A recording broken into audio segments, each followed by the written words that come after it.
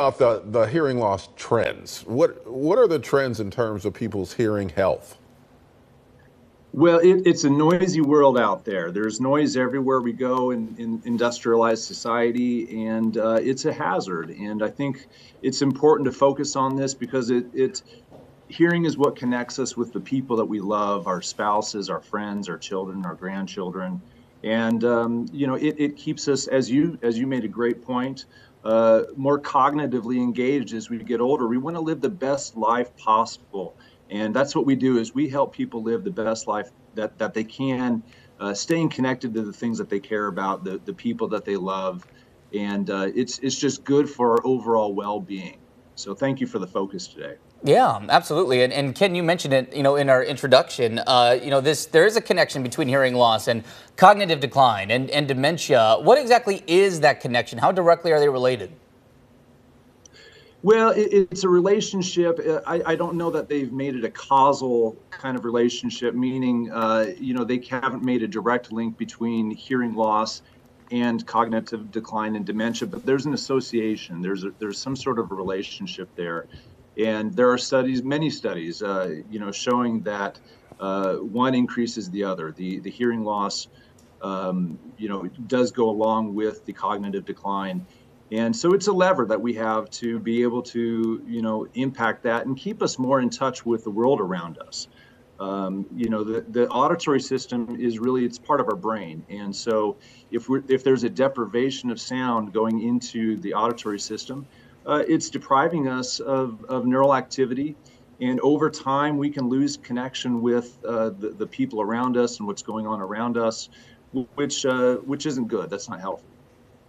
Yeah, talk about the signs of hearing loss. Uh, you know, a lot of us may, may think they're all pretty obvious, but uh, just give us a rundown of, of hearing loss and, and how you know it's happening.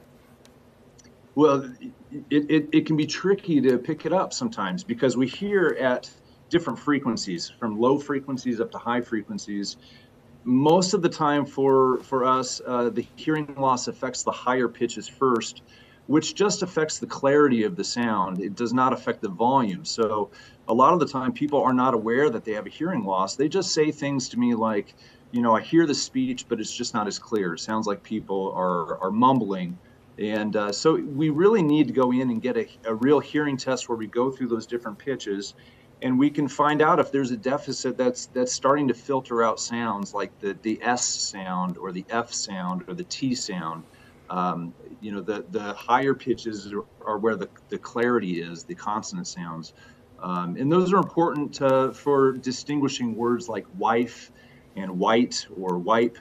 Uh, we noticed during the pandemic when we were all wearing face masks and we took away the visual component of, of listening, you know that that we got a lot busier people started noticing that they were using their eyes to hear instead of just their ears mm. and so we, we've been busier and that's been a good thing i think it's bringing more awareness to the fact that that uh, we need to pay attention to our hearing hmm. yeah, Dr. Luther, uh, we have to leave you now for time, but uh, where can people go to uh, make sure that their hearing health is good? Should it be their personal physician? Is there somewhere special they should go in order to get it tested?